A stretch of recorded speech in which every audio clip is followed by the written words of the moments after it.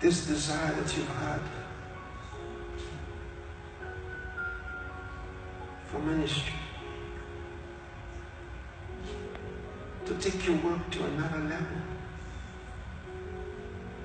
The Lord granting you a greater understanding of His Word,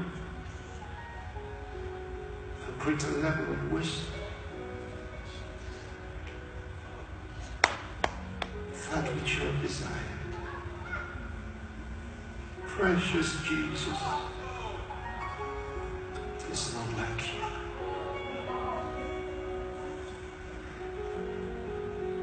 But give it to Him. Today. Today. Today. Give me your hand.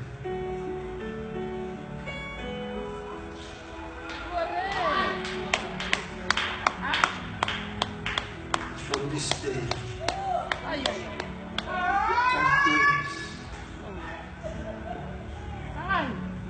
you'll be able to use it.